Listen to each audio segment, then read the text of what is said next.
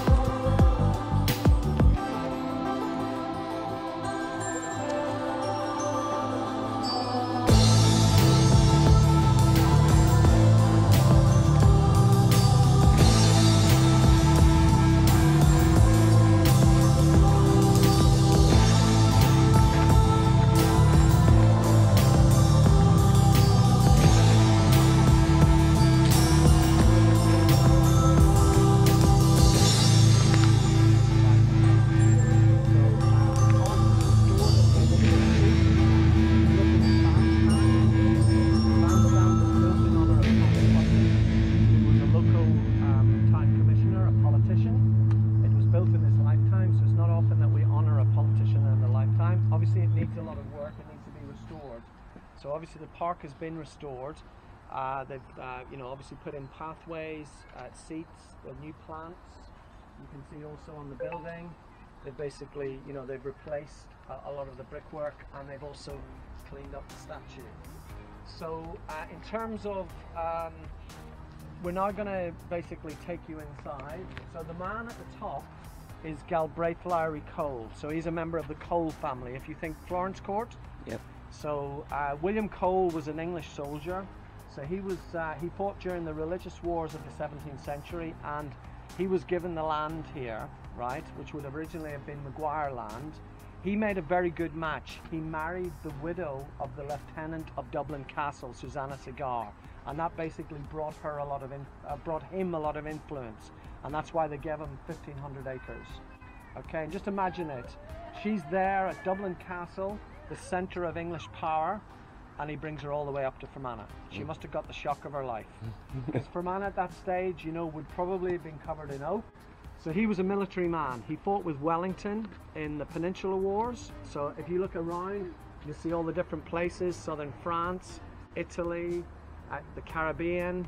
Um, these are places where he fought battles. He was one of Wellington's generals. He the plinth, right? He, di- uh, he died, he was colonel of the 27th Regiment, which is the Enniskillens.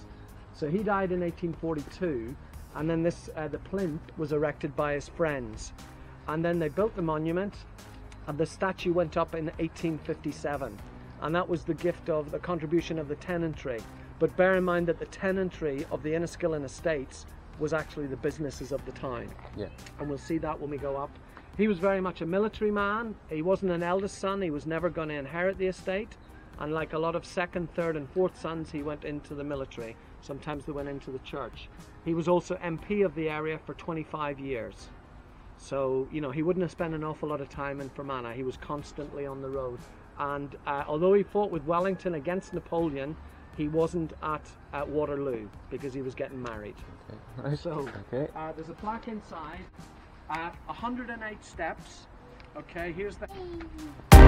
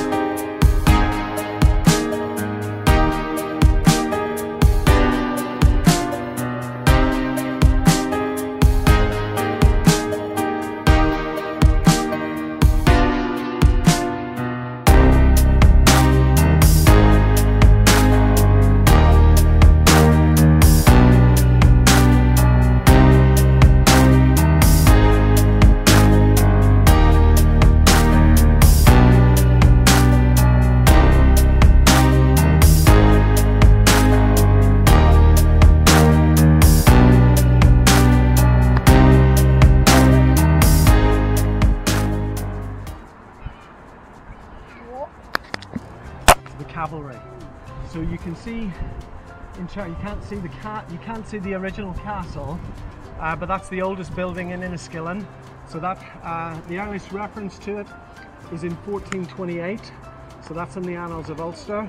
That's when Hugh the Hospitable, who was one of the uh, uh, part of the Junior Maguire branch, that's when he died. So we know it must have been here well before that. So you know it's over 600 years old. Um, the town is very much designed to a plantation design. You see this in towns all over Ulster. There are five elements.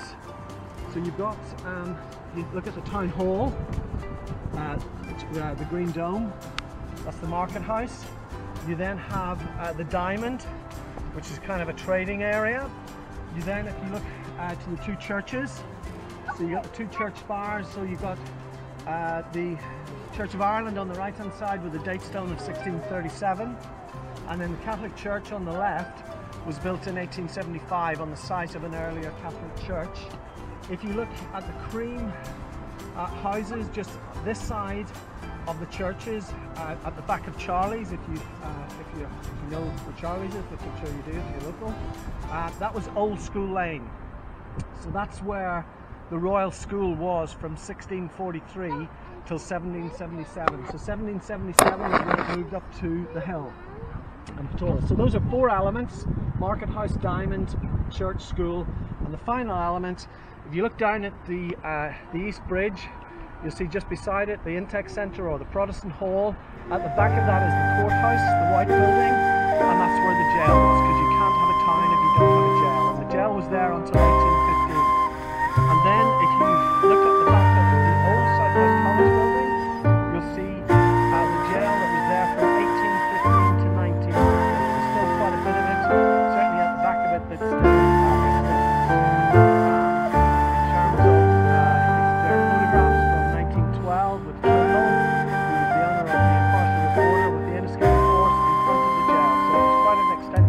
like.